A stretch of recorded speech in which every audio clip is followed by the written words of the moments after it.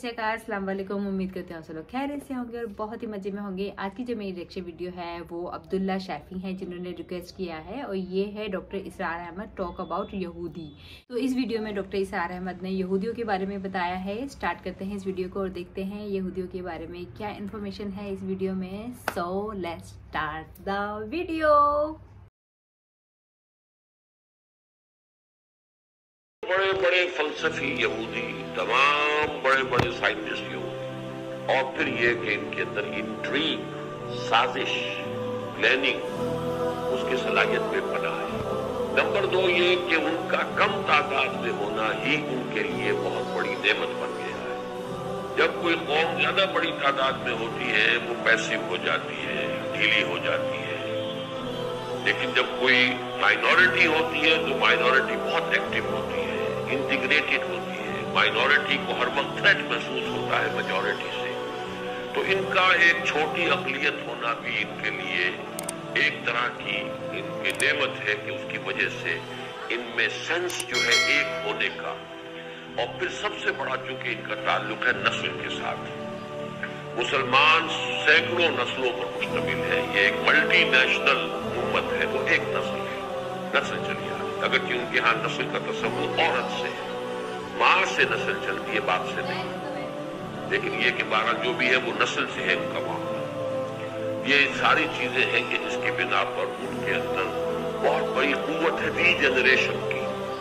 एक दफ़ा तकरीबन खत्म हो जाते हैं, फिर जाग जाते हैं। फिर खत्म हो जाते हैं, फिर जाग जाते हैं। जिस कौम में कोई स्ट्रॉन्ग नेशनलिज्म हो, उसके अंदर ये कुत होती है। मसलन जर्मनी इसी सदी में दो मरतबा तबाह बर्बाद हुआ और ऐसा तबाह बर्बाद हुआ कि वाकया यह है कि रुइंग हो गया बिल्कुल। लेकिन देखते ही देखते दोबारा उठ के खड़ा हो गया। उनके यहाँ भी एक बहुत स्ट्रॉन्ग सेंस ऑफ़ नेशनलिज्म है।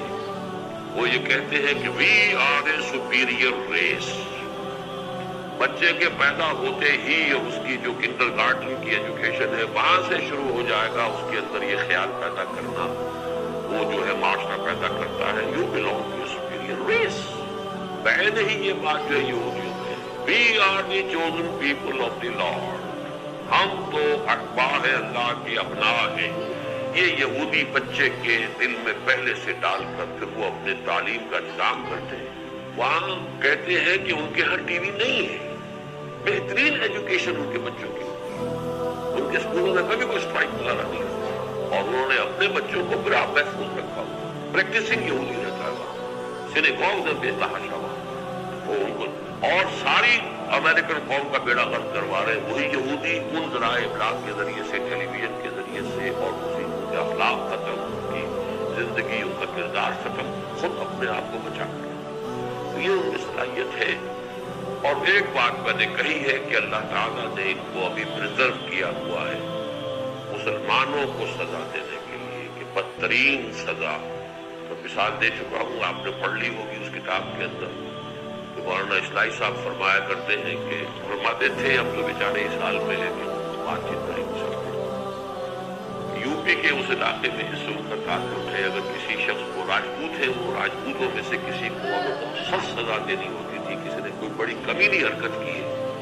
तो चमार को, गाँव के चमार को बुलाकर उससे जूती लगवाते थे, उसके सर कि एक तो जूतियाँ पड़ रही है, लेकिन जूती भी राजपूत के सर पर, राजपूत की पड़े तो चलो, जूती ही है ना, राजपूत की तो है। लेकिन जब चमार की जूती पड़ती है तो अब उसमें अंग्रेज़ी का मुहावरा भी है to add insult to injury एक तो जूते की तकलीफ़ है, और एक इंसल्ट है कि चमार मार रहा है। तो ये जो रूहानी और दीनी एतबार से चमार है दुनिया के मकसूब कौम मलून कौम उनके हाथों मुसलमानों की पिटाई तोहहीन तजमील ये आज हो रही है इसीलिए प्रिजर्व किया गया है। बाकी इनका आखिरी अंजाम भी अब ज़्यादा दूर नहीं है जैसा कि मैं आपको मैं उन सवाल के ज़िक्र में बता चुका हूँ। जो पहले मैंने यहूदियों के बारे में मुझे कुछ जानने को मिला है। बट मैं सच में I am curious to know more about यहूदीज की उनका क्या है और मतलब ऐसा कुछ मुझे लगता है कुछ खास ही टसल है यहूदी और इस्लाम के बीच में। कुरान में भी अहले किताब के बारे में ज़िक्र किया गया है और अहले किताब जियोस और क्रिश्चियंस को ही एड्रेस किया गया है अहले किताब कह के। तो अगर कुछ और आप लोगों के पास ऐसी इन्फॉर्मेटिव वीडियो हो जिसमें ज्यूज़ के बारे में ज़्यादा जानकारी मिल सके कि ऐसा क्यों, क्या हुआ कि मतलब वो लोग एक दूसरे के अगेंस्ट हो गए और इतना ज़्यादा मतलब गैप आ गया है दोनों के बीच में तो कुछ वो भी वीडियोस मुझे ज़रूर रेफ़र कीजिएगा मैं देखना चाहूँगी ज़रूर। अपने आप को तो हर कोई सुपीरियर समझता है बट कभी सामने वाले को भी इन्फीरियर नहीं समझना चाहिए कि वो बंदा कमज़ोर है या उसके, उस, उसमें कोई ताकत नहीं है, ऐसा नहीं सोचना चाहिए। और आजकल का तो जो टेक्नोलॉजी वर्ल्ड है इसमें तो हम लोग इतना आगे बढ़ चुके हैं कि वो सब सोच हम लोगों को छोड़ ही देनी चाहिए। बट आई डोंट नो कि अभी तक उनके आ, वो क्या चीज़ फॉलो कर रहे हैं उनके दिमाग में क्या चीज़ चल रही है। बट मैं ये ज़रूर जानना चाहूँगी कि ऐसी क्या चीज़ है कि वो लोग अभी भी वही पुरानी सोच लेके रखे हुए हैं? मतलब इतनी ज़्यादा वो लोग एडवांस हो चुके हैं टेक्नोलॉजी में बट फिर भी उनका जो कुछ कुछ चीज़ें तो है जिसको वो अभी भी उसी ज़माने में लेकर बैठे हुए हैं। तो आपके पास कोई ऐसी डिटेल्ड इन्फॉर्मेटिव वीडियो है तो प्लीज़ मुझे लिंक शेयर कीजिए और आज की इस वीडियो को हम यहीं ख़त्म करते हैं। बाय